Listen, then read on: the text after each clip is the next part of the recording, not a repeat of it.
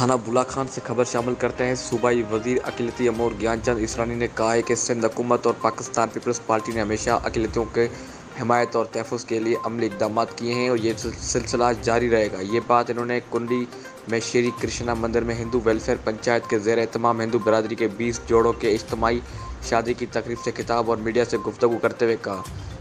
इस मौके पर सूबाई वज़ीर जंगलात नवाब तैमूर टालपुर सबक सैनेटर अशोक कुमार रतनानी, पाक फौज चोट कैंट के मेजर खुरम और दीगर ने भी शिरकत की। सूबाई वज़ीर ज्ञानचंद इसरानी ने मजीद कहा कि महकमा अखिलती अमूर की जानब से हर जोड़े को पचास हज़ार रुपये के चेक भी दिए गए हैं।